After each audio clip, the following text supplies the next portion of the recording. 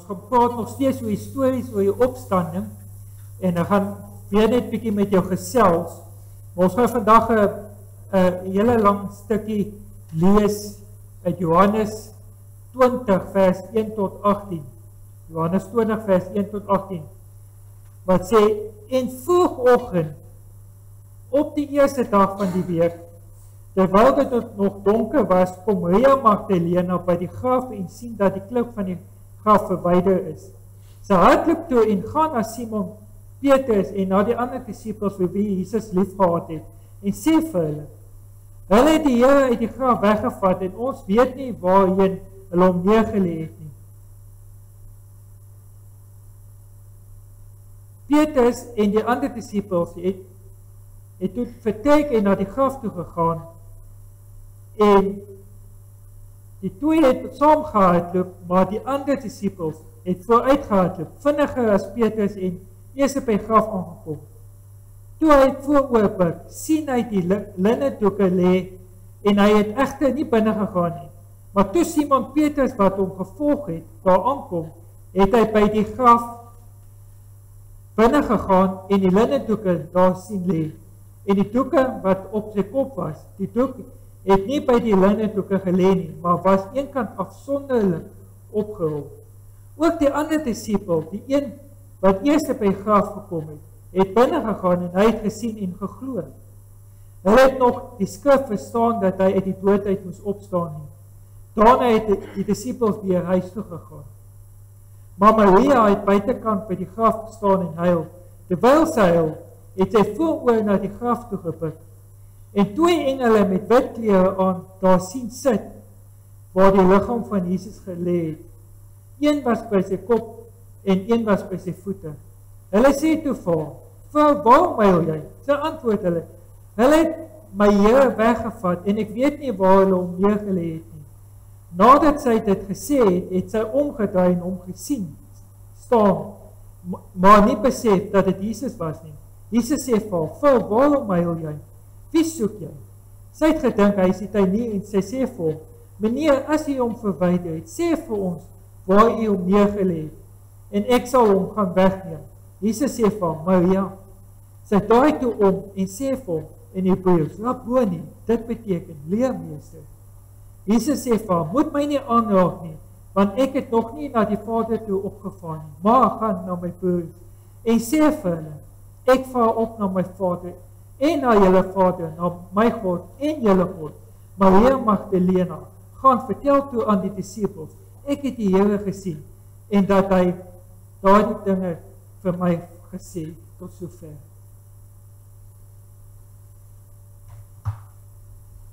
Die eerste vraag wat by my opgekom het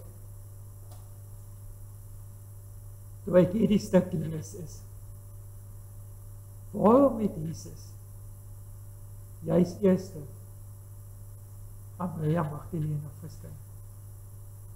Hoekom nie aan die disippels wat daar was nie?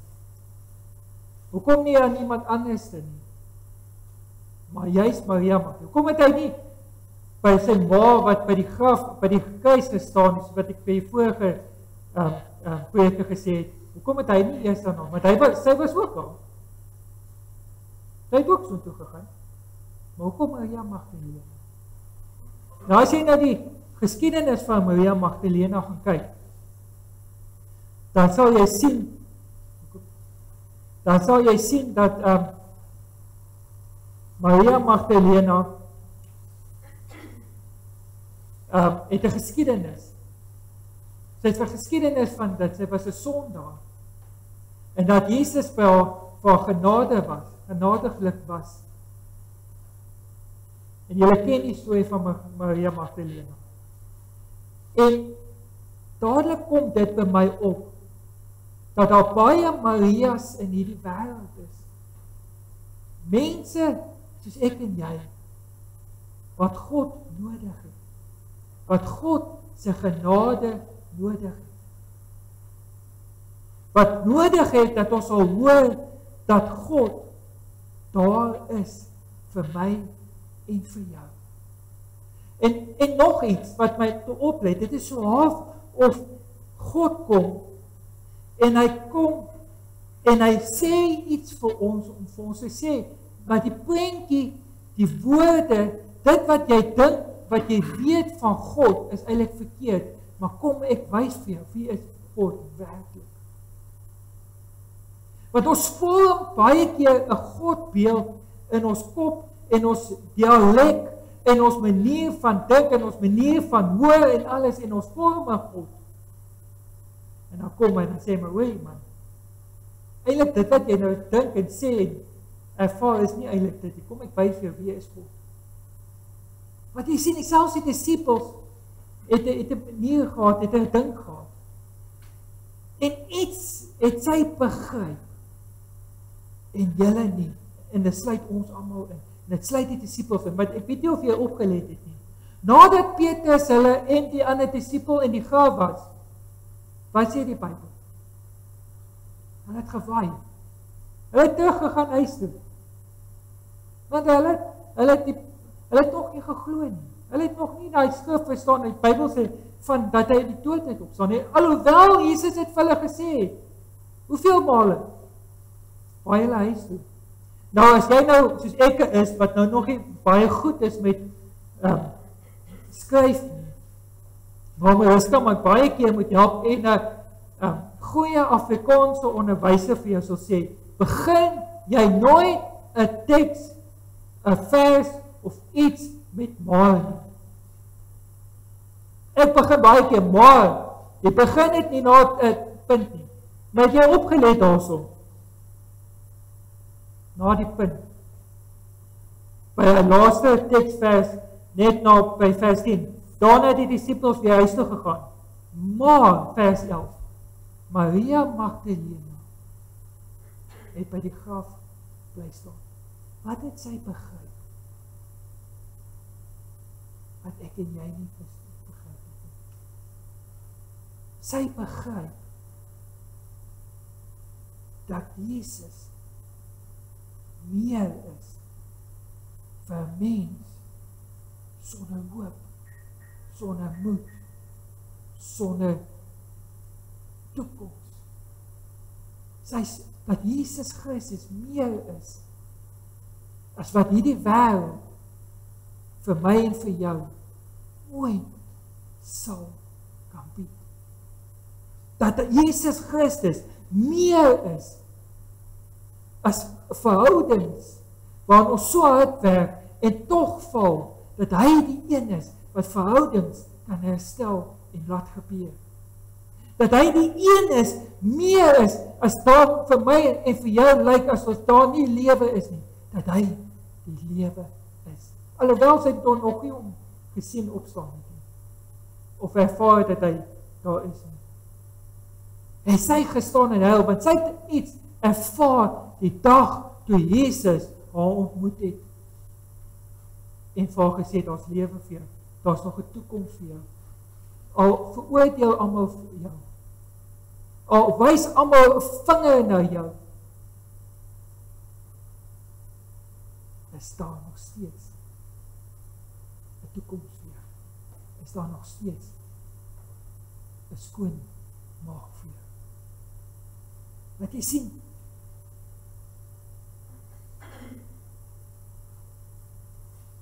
Ons baie keer dink ons verstaan ons, begryp ons, dink ons ons begryp die term van liefde, die term van van van nabyheid, die term van ek verstaan alles, maar ek doen nie. En ons het 'n Jesus nodig in ons lewens wat hierdie goed in perspektief kan bring. Wat werklik waar vir my en vir jou 'n openbaring kan bring. Juis in hierdie tydvlak waarin ons leef, het ons so 'n Jesus in ons lewens nodig wat ons 'n verstaan kan hê waarom die lewe werk. Waarom ek hier is. Waarom dinge nie vir my so uitwerk soos wat ek dink dit uitwerk nie. Dit sit jy in, in jou voete van daardie vrou vrou Gaan en ek veroordeel jou nie meer nie. Dit was Jesus se woord daarna as jy die Bybelteks sien. Dis dieselfde vrou wat hulle wou stenig het. Dis sy. Vrou, gaan en uh gaan en sondig nie meer, ek veroordeel jou nie. Sit daar, sit jouself in haar voete van hierdie hoop. Dit was 'n fantastiese hoop. En nou is hierdie man wat die hoop bring dood. Dis hoekom sy gebroke was daar. Dis hoekom sy gehuil het, want sy het sy het geweet, sy het ervaar, maar nou is sy dood.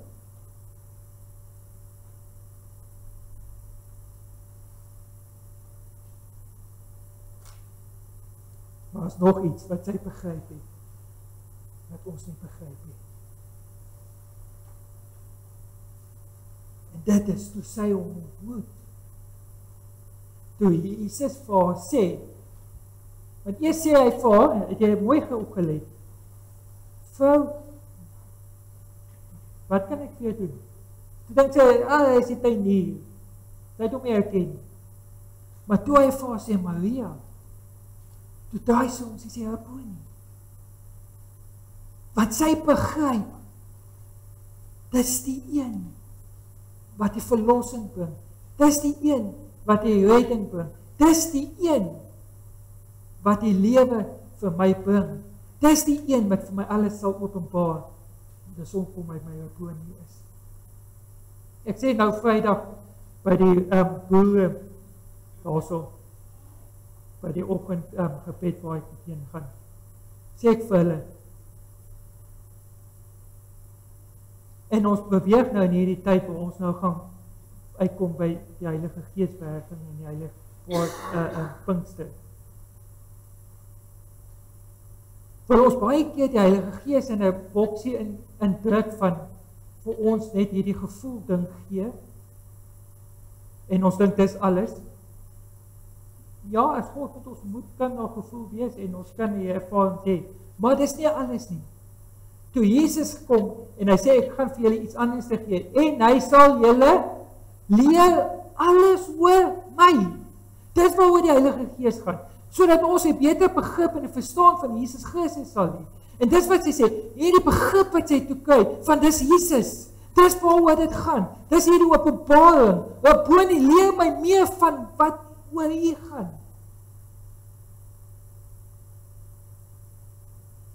Het sy begryp wie Jesus werklik was. En wat doen sy?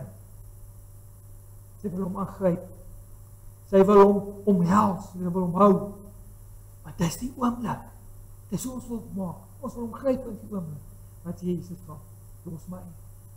Moenie aan my raak nie. Hoekom? wat Jesus weet.